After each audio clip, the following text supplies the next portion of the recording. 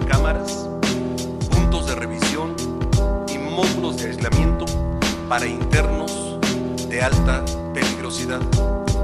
El Centro Federal cuenta con bardas perimetrales, aduanas peatonales y vehiculares, torres de vigilancia internas y externas, además de 26 filtros entre puertas y controles desde el área de aduana la de tratamientos especiales.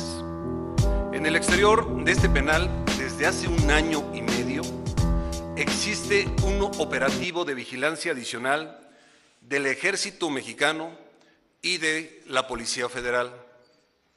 Además de estas medidas, especialmente a Joaquín Guzmán Loera se le había colocado un brazalete preventivo para su localización dentro del penal.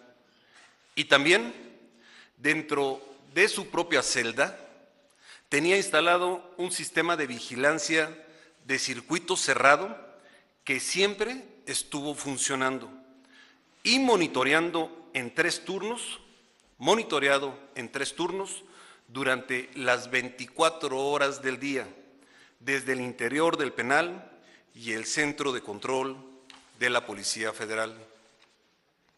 Por razones de derechos humanos, de respeto a la intimidad, la videovigilancia tenía dos puntos ciegos.